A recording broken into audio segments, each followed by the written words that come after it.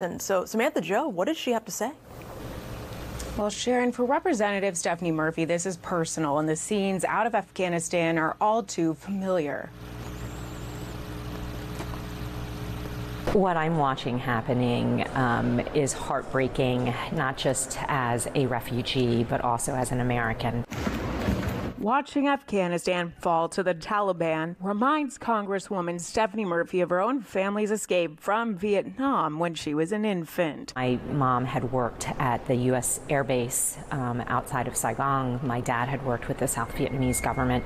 And so they were both people who, under the communist regime, were being persecuted because of their affiliation with America. Her family was unable to leave when U.S. forces withdrew from Vietnam in 1975. But nearly four years later, they fled the country by boat. Imagine how hard it must have been to live in that country for my parents to have decided to take an eight year old boy and a six month old baby girl and get on a boat to sea. We got to international waters and ran out of fuel. And so we were desperately adrift when a U.S. Navy ship um, came upon our boat.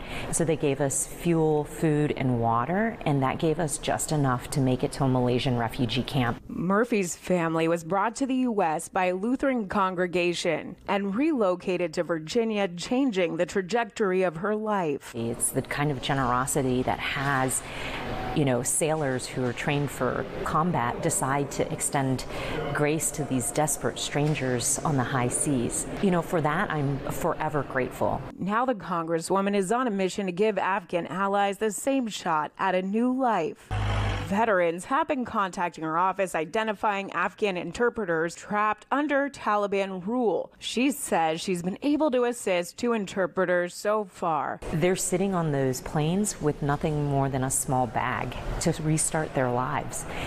But I think that's the story of many Americans, whether it's this generation or five generations ago, coming to this country with hope and a dream. Now she's hoping Afghans still in harm's way will get a shot at a new life in America, just like she did 42 years ago.